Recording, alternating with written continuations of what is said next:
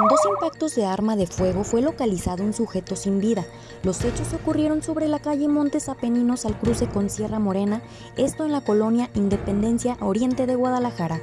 Vecinos fueron quienes reportaron a las líneas de emergencia del 911, donde refería haber escuchado varias detonaciones y un vehículo alejarse a toda velocidad. Al arribo de los oficiales se percataron de que esta finca se encontraba abandonada, cuyo interior se encontraba una persona inconsciente. Paramédicos fueron quienes confirmaron que trataba de un hombre de aproximadamente 50 años. Mismos confirmaron el deceso presentaba dos impactos de arma de fuego sobre el rostro. Cabe señalar que en esta finca meses atrás había ocurrido un incendio. Peritos de Ciencias Forenses realizó la toma de indicios en el lugar. Con imágenes y voz informativa para Tráfico Noticias y AM Noticias, Mayra